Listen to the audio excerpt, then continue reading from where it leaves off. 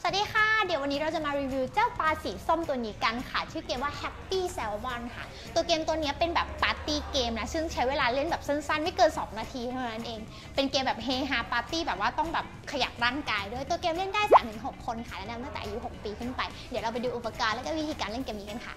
สำหรับอุปกรณ์ในเกมนี้ค่ะ ก็จะมีการ์ดทั้งหมด 6 สีนะคะ โดยที่การ์ดแต่ละสีเนี่ยก็จะมี action ทั้งหมด 4 อันนะก็จะมีตามนี้มี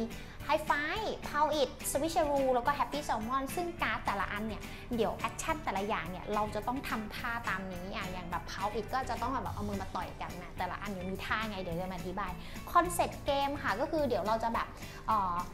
สลับการ์ดสมมติหญิงเป็นชุดสีเขียวอะแล้วก็สลับปุ๊บนับ 1 2 3 เราก็เปิดอะแล้วเราก็พูดท่าแล้วเราก็บอกพูด High Five อะแล้วเราต้องทำท่าด้วย High Five ก็คือแบบการแบบตบมืออะตบมือกับเพื่อนอีกคนหนึ่ง สมมติเราก็พูด High Five High Five High Five สมมติถ้าเราตบมือกับเพื่อนได้เราก็ทิ้งการ์ดใบนี้